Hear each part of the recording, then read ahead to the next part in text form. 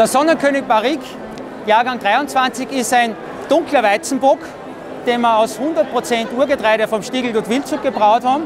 Da kommt ein laufender Landweizen vor, eine alpine Pfauengerste, eine Goldtorpe und das Besondere ist, dass wir natürlich das ganze Getreide in Wildzut vermelzen und einen Teil von diesem Getreide in Wildzut auch torfen. Und so erstrahlt er hier in diesem Glas.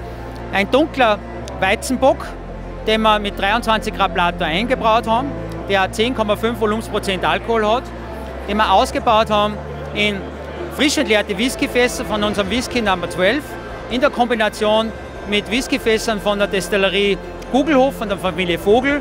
Und es ist eine wunderbare Hochzeit passiert, nämlich dieses Bier in der Kombination mit diesen Whiskyfässern. Und rauskommen ist dieses wunderschöne Bier in dem Kastanienbraun.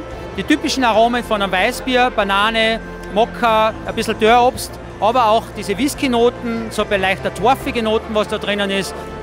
Harmonisch, aber doch sehr aromatisch, sehr intensiv und wenn man trinkt, sehr wärmend von hinten heraus. Es ist ein handwerklich produziertes Produkt und wenn man es trinkt, da das richtige Glas dazu, ja, in dem Fall ein Stielglas, umso bauchiger, umso mehr können sich die Aromen entfalten.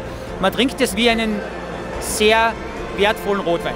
So muss man es sehen, in dem Fall natürlich limitiert und wir sind wahnsinnig stolz auf unseren Sonnenkönig Barrique 23. Zum Wohl.